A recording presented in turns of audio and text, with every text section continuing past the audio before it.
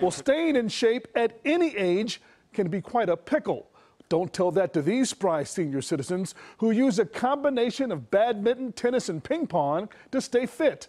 Megan Mawicke has more on one feisty young lady who isn't letting the number keep her from winning games with her mind and her body. At first, I didn't know how to serve, I didn't know how to anything, but now I'm a hot shot. a 75 year old hotshot pickleballer. Margaret Olawoye has played racquetball for over 30 years. She just turned to pickleball a few years ago because it's less stressful on her body. Now she's qualified for her second national senior game. 3 1. I don't even think of age. Most of the people I play with are at least 15 to 20 years younger than I am. Margaret will play singles only at nationals. She prefers it over doubles.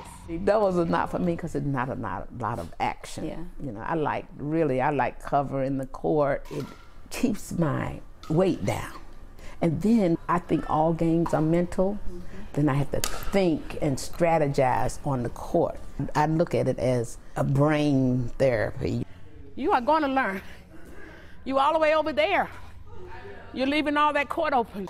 She finished fourth in the last National Senior Games in 2015. So what's her goal this year? I'm bringing home the gold.